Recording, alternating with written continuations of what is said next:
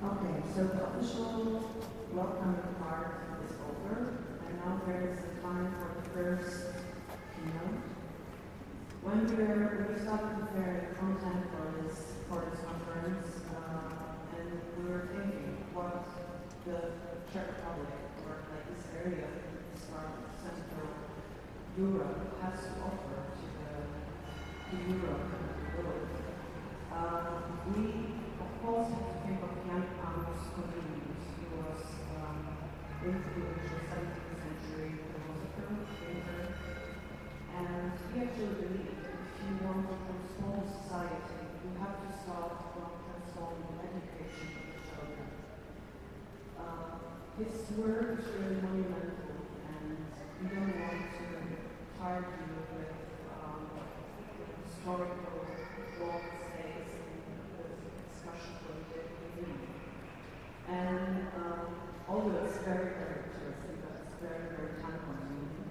Um, and therefore, we invited Olci Hozman, who is a Czech art who I also would like to invite him to the stage, um, who, um, who will, who will actually uses or kind of getting this is connected to this work and to, to the crucial part of Comenius' um, text, which is, uh, which is dedicated to 12 senses, because Comenius said human being doesn't have five senses, but 12 senses.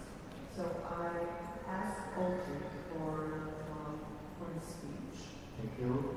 I hope, uh, I think we we could make it a little bit shorter. I hope Yes, of course. The time is getting a little bit long.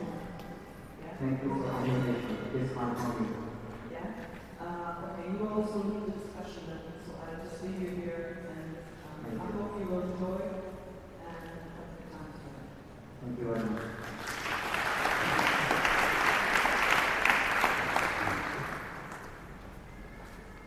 Hello, everybody. Welcome. My name is Ochi Hozman. I'm working for different projects and also I include some principles of the 12 senses in my work. And I would like to mention two big personalities. I would like in the beginning to speak about Jan Komenius, who was born in Czech Republic, and he was also very well known, not only Czech, but also European scholar, teacher, philosopher, and scientist. And in his research, there was also knowledge about 12 senses, so this is the first part of the lecture. And the second part of the lecture is about the wisdom and knowledge about 12 senses in the concept of Berlioz So if you imagine the time when John Amos Comenius was living, it was a middle age. He was born in 1591 and he was living till 1670. So imagine it was a time where it was really not possible for every child to go to school. And John Amos Comenius, he was not only teacher, but he was also educated priest. And in that time, he was very often invited in very many European countries to visit different leaders, different kings. He was many times invited to kings' families to help them to prepare that textbooks, prepare some principles how those kings and families, king families, how they can educate their kingdoms, their nations. And I would like to mention few of his principles and few of his thoughts. What was for Komensky the most fundamental question? I will a little bit adjust that screen that I will follow what's going on. I will move it a very little bit like that so I see what is on it. So what was a really fundamental question of Komensky? What was his, um, let's say, really deep interest? So his main thought, main interest was the topic, theme, theme of the truth. He was asking all his life what the truth is and how children can learn it. And in his knowledge, in his concept, we can speak about three pillars through which he was trying to develop his belief in truth. So it is based on three pillars. The first pillar is trust in the immediate sensorial learning. So it is like, practically speaking, for example, describing with children what they really see, for example, what they feel, what they hear, what they are touching. Just by common sense, by normal words, describing immediate situation during the play, during walking, during normal daily activity. It is the first pillar, how they later become into understanding what the truth is. The second pillar is the built intelligence from the past experience. So it means that from repeatedly going activity, they can learn from their experiences. So it is very important to uh, act, to behave with children repeatedly.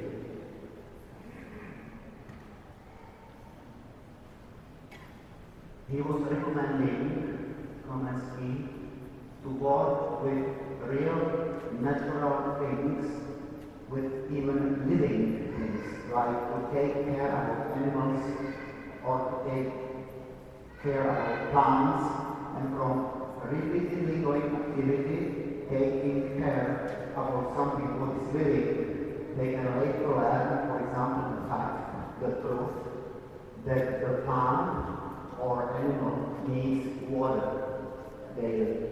So it's a truthful learning. And the third pillar in his concept is trust in others and or trust in God. So in the meaning of trusting others, Komensky meant that when someone promise something to a child, he or she should fulfill it. And from repeating experience, from fulfilling, children are learning the trust in other people. So it is on this, this pillar is on a very personal level, let's say. And the trust and faith in God, we have to, understand that Komensky, he was an educated priest, and that topic was for him very, very important. On many examples in his work are this faith in God expressed, for example, in the contents of his books, that he usually begin his textbook with the beginning, divine creation of the world. Then in the middle of the book is expressing and describing normal daily situations, describing all natural kingdoms. And the last part of his, of his textbooks are very usual going into salvation of mankind, going to the divine world. So it is a principle basically spoken of his writings.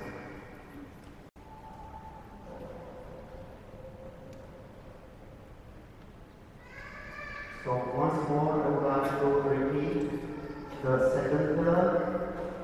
It is the repeating experience from which we repeatedly distinguish reasons for our next experience.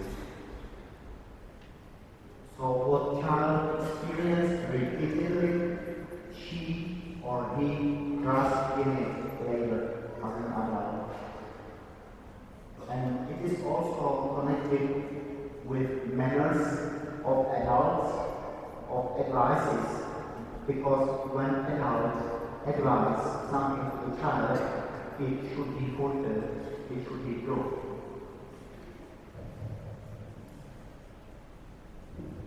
So that third pillar I have already mentioned, and uh, it was very important for Komensky to trust in others and faith in God, because he said that later it can be developed into very high human virtues, into very high human to manage. And there are two recommendations from Komensky how we can come to that result. He recommends in this time to read or to spoke to children religious stories or national narratives or legends from history showing them principles of human and spiritual behaviors. So then, in adult and in uh, the development of the child, it is leading to high human virtues and nobles and good manners in the life later. John Amos Komensky, he was also interested in many other features and qualities of being, of human being. And one of his concepts is knowledge about 12 senses. This picture is a record which was found in one of his books. It is written in Latin, and I will try to show it to you in English describing step by step what was he thinking, what was he describing about. He was speaking about 12 senses of human being, and he put them into order related to the Pythagorean triangle. He divided 12 senses into three groups, into five, four, and three. And we will go through them. This group are, in Komensky concept, five external senses, which are for us quite known. It is a touch, taste, smell, hearing, and sight or vision, seeing. These five senses are quite known for us. Then, next group in Komensky concept were four inner senses. This he belongs to the to the side of the Pythagorean triangle. And in this concept, it was passion, imagination, rationality, and memory, mind. And he calls those senses higher senses. The last group of his uh, wisdom about senses are three, the most highest senses, which he put or connected with the shortest side of the Pythagorean triangle. And he called those most highest senses three, the most internal senses, which are really inside. And he called them light of thinking, which we can also express saying it is our common sense and we manner without thinking, but on a higher level. Then the second of the three, the most internal senses is motion of will, and the last is conscious, meaning ability to act. So this conscious, it is the meaning that we consciously think what we will do. So the noun is conscious. So here you can see the group of uh, 12 senses and in the end I would like to mention that Komensky as a philosopher he wanted to express in his knowledge unity with the universal unchangeable principles.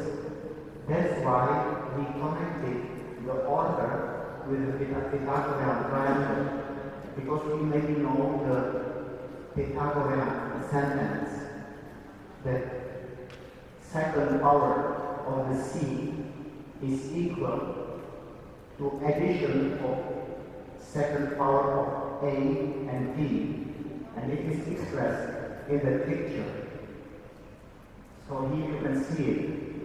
It is the length of the longest side which is C, the length of C is 5, second power of 5 is 25. The shorter side has length 4, and second power of 4 is 16. And the, short, the most shorter side, A, the second power of the A is 9.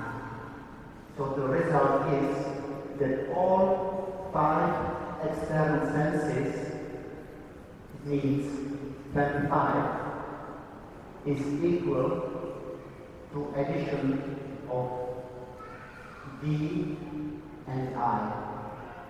9 plus 16 is also 25. So behind his knowledge, he wanted to express some unchangeable philosophical, spiritual background of his thoughts. So this equilibrium between five external senses and inner and internal senses, like an equilibrium in us, in our humanity.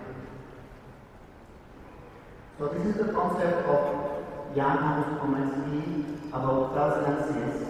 And the next part, I would like to mention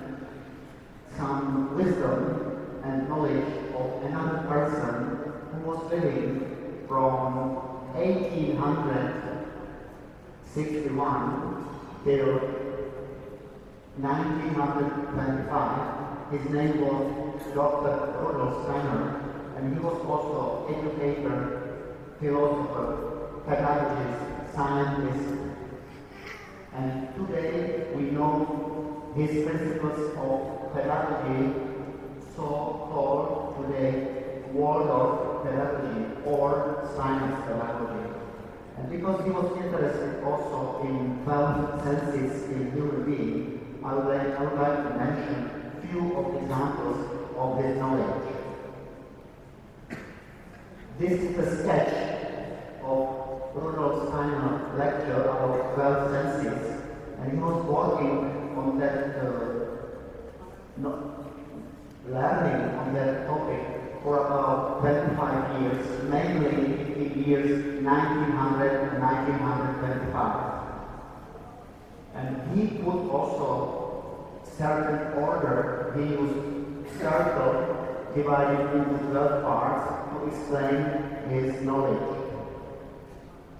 So he divided 12 human senses also into three groups, but he used a little bit different order. He put in each group four senses.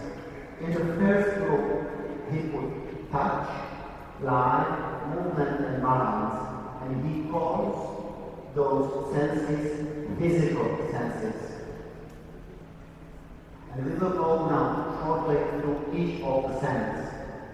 Touch is connecting us with the material.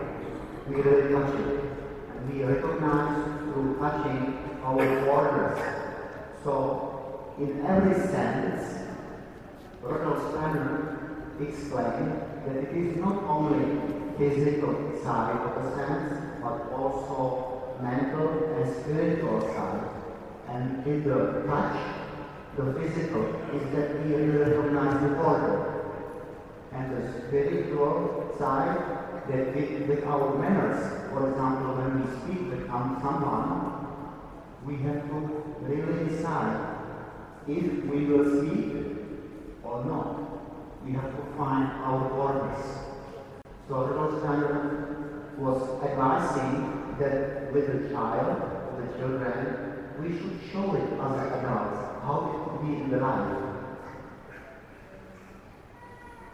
And here is an example of a very little house which I was designing and in each little corner children could enjoy one of 12 senses. And for the touch, there you can see on the left side openings, flat holes in which children put their hands and they are touching what is inside.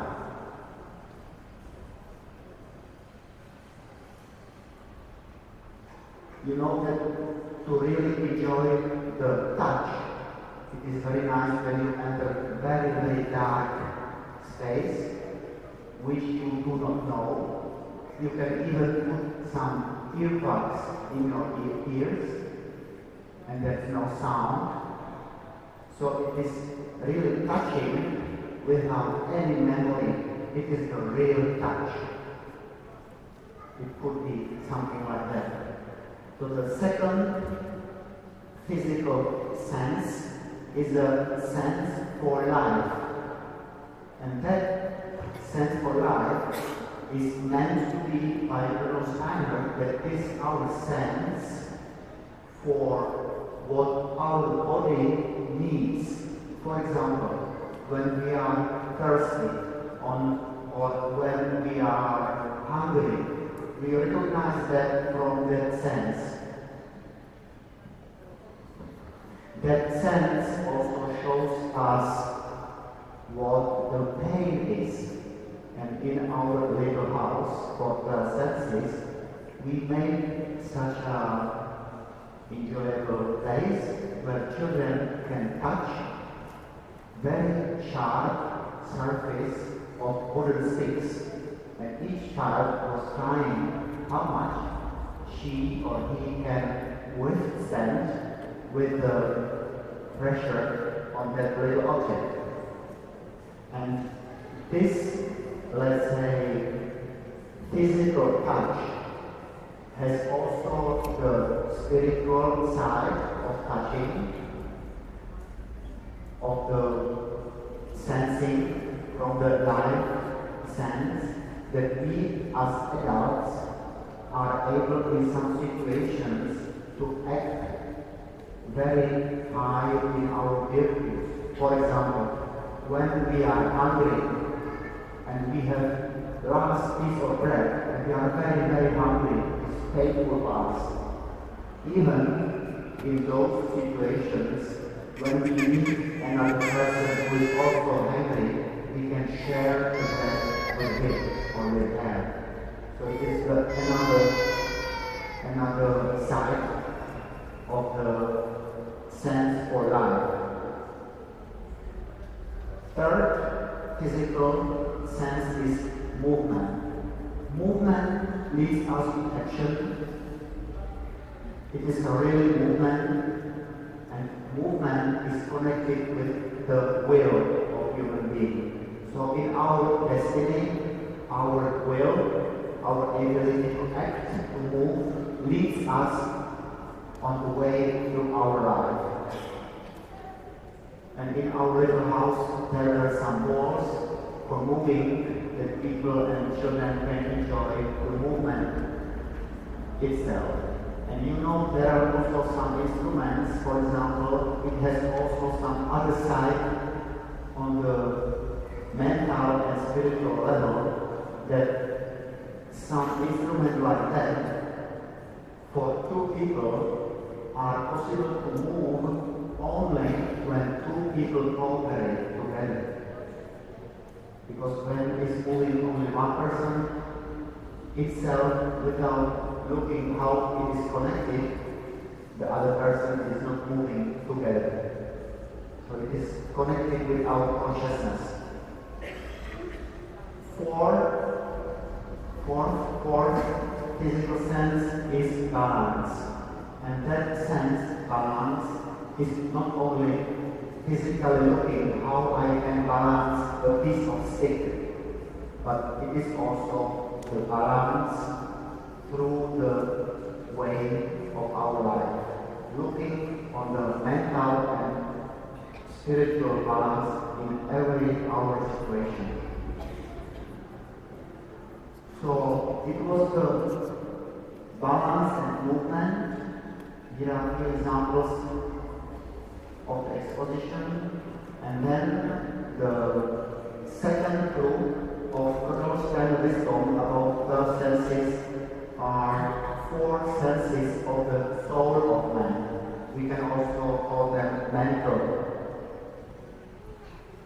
senses. It is the smell, taste, sight, and sense for world. The first uh, mental sense, the smell, is very personal. You know that smells, beautiful smells, really surround us because when we are breathing, we cannot go out of the smell. We, have, we are in the smell, so we have to absorb it, we have to take it in. And for children, it's very enjoyable to meet with smells. I remember a very small boy, he was smelling different smells, and there was a mint smell in one bottle, and he you are saying, oh, it's a tooth, toothpaste, the smell. So he connected it with what he knows. So we can prepare many, many different uh, examples of how people can enjoy smell. And we know that when the smell is really bad, we cannot withstand it. We have to go away or for a while stop breathing. Then taste.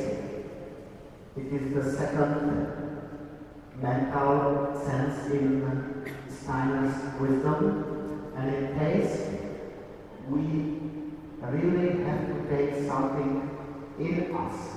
We have to absorb it. We have to put it together with some liquids in our mouths. And it takes a while when we are able to recognize what it is. So in this example, there were four different white powder powders, but each of them was a different taste. So it was a salt, sugar, and then something what is very thicker, and something what is very acid. So it was very uh, surprising for children to taste it. Because there was not written what it is. Third, mental sense of Steiner is sight or vision.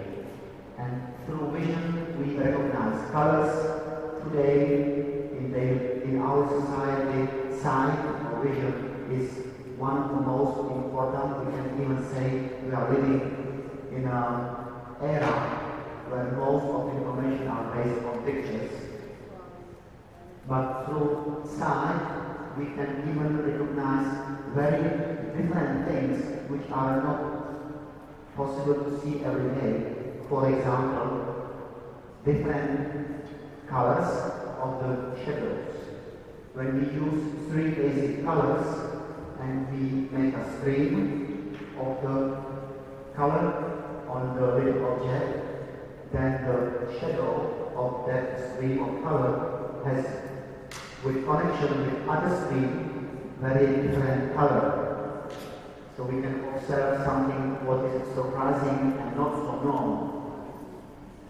And with adults, Rudolf Steiner recommended, for example, to observe very carefully nature, colors in the nature, and you know that, for example, when you put a green object on the white platform, you can observe that the shadow of that green object is little greenish. So these are specialities of ability how from our vision we can learn in higher ability to use our vision, our sight, our sense for sight. So these were three, and the last is the sense for words, for to recognize what is the heat, what is the warmth of object. So we are ability in the temperature, which is for example 21 degree, recognize that the wood is warmer than the metal, for example. It is our ability to recognize different materials. And in our little object, we have different balls from different materials. For example, clay surface, wood surface, metal surface, glass or stone surface. Each surface has a different temperature in the sense of warmth. And the last group of Rudolf of wisdom are senses connected with the spirit of the man. And these are sense for hearing, sense for speech or word, sense for other people's thoughts or sense of thinking, and the last highest sense, sense in Rosman wisdom is self in others, meaning our sense, our ability to understand the self in others. It is also sometimes called sense for other ego. So in hearing, you can really fulfill our body and also when you hear a song, it is leading to improve your concentration. It is fulfilling the whole body. It is going into awareness, into consciousness, and it is really, really enjoyable, not only physical hearing, but also the body hearing. There are some instruments like that, like a chair on which child can sit, and behind are some springs, and the whole board, the whole plate is vibrating, and it is going through the body. So it is also a kind of therapeutic feature for the, let's say, healing through different vibrations. So,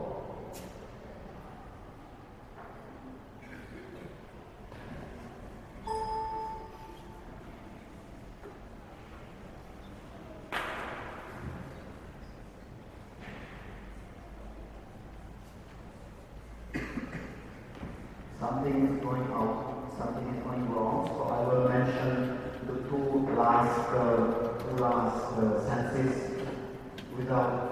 Uh, thank you.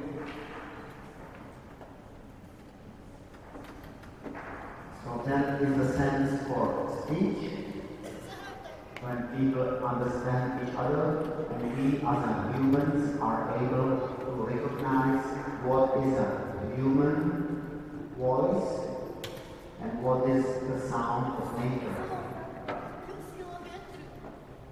So it is very helpful to, to exchange ideas, to recognize other thoughts, and it is very helpful to work with children, for example, with dramatization, to using theater activities. And last, the highest uh, senses in Rudolf Steiner concept is the sense in other people's thoughts. It means that it is the ability to go really closer to the other person, to be able to follow his or her thoughts. And we know when we speak the other, sharing our ideas and trying to follow, give some advices, the good result is that when someone is talking to us, telling us his or her idea, and we can follow, we can add something to that, that when he or she answers, okay, that's a good idea. This I didn't know. Is a very bad, very good improvement of my thought. Thank you. So this is the result when we really catch the essence of the thought of the other and we were able to follow it. And it is a really, let's say, going into the understanding between people. And the last highest sense of close knowledge is the sense for self in others. It is a very sense, and Rudolf Steiner explains that it is a sense when, for example, we as a for example, teenager or even adult are able to recognize in other people, for example, our future teacher or someone who is a really important person for us for some next period of life. And it can be also sense that in, in, in some period of life we choose, for example, also our partner or a very good friend. But basically spoken of Rudolf Steiner concept, it is the meaning is something essential what we recognize in other people which we are meeting that this or that person is very important for us in our life. We can we would like to go to him or to her closer to understand, to understand him or her better. So you see that there are some differences between the concept of Komensky and Rudolf Steiner, but they both were very interested in deeper understanding of the human being. So I would like to thank you for your attention and for those who would like to read the writing text of my lecture, I will put here in the corner of the platform writing text so you can take it after the ending. So thank you for your attendance and for those who would like to visit the workshop in the afternoon, you are welcome to come in Depot to try to work with 12 senses together. Thank you very much.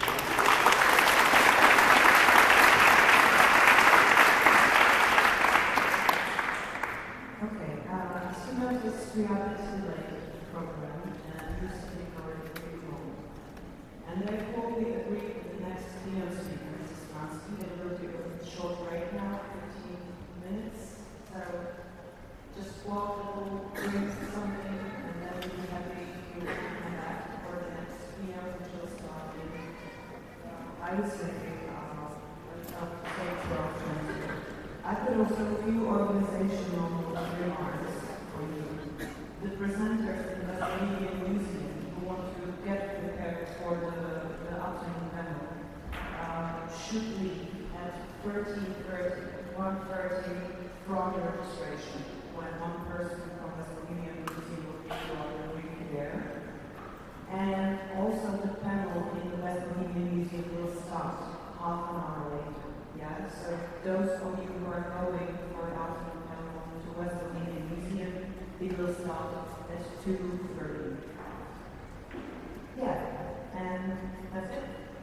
enjoy break and get refreshed, and uh, I'll see you